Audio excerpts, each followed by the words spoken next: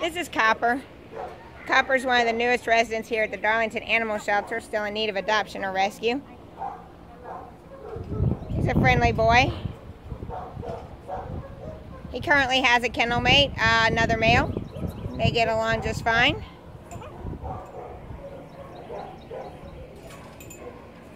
He seems to like little people, um, or at least uh, one of our junior volunteers has grown quite attached to him since his arrival.